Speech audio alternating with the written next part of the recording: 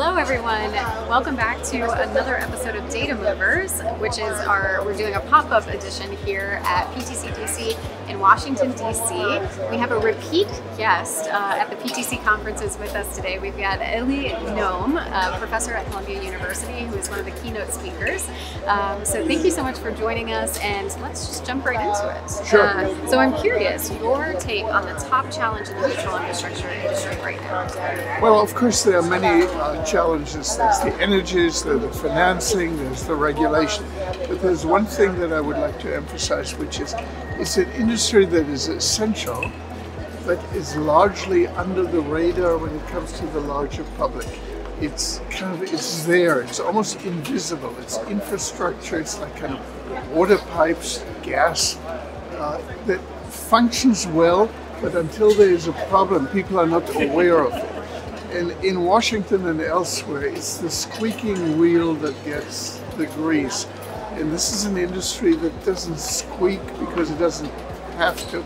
It just gets things done, but then it is not kind of appreciated how essential it has become for the economy and society at large.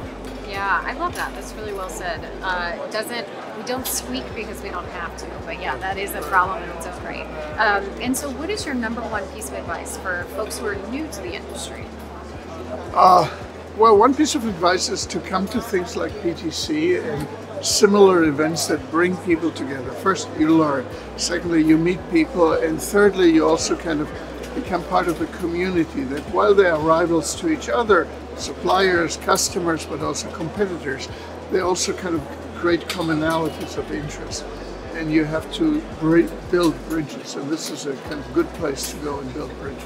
Yeah, I love that. Build bridges here, absolutely, and in Hawaii, right, where I'll probably see you. Uh, uh, Hawaii is a particularly nice place to build bridges. That's right, exactly. Yes. And last but not least, what one word would you use to describe the industry right now? Uh, I'll have three one words uh, essential, uh, dynamic, future oriented, and still invisible to larger society. Mm, yeah, that's a great note to end on to, to go full circle, right? Well, thank you so much. I really appreciate you taking the time okay, to well, chat with us. Thank you so much. I enjoyed the meeting and enjoyed meeting you. Yeah, uh, well, same to you. And thank you, viewers, for hanging out with us on Data Movers. We'll see you next time. Happy networking.